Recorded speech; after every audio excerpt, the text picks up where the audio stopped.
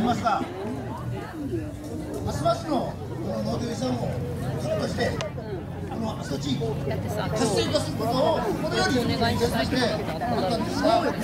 何歳ですか？12歳ですよねなんか顔がねもうおばあちゃんかわいいねこれ震えて行いますが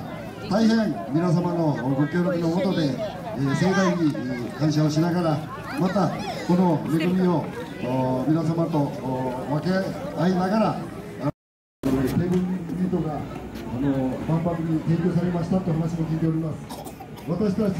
世界を代表するんじゃなくまた一宮また阿蘇こういうカリデルの中で生産したコシカリまたこれそんなものがまた昔同様に黄金の色が晴れやかに阿蘇波を含むような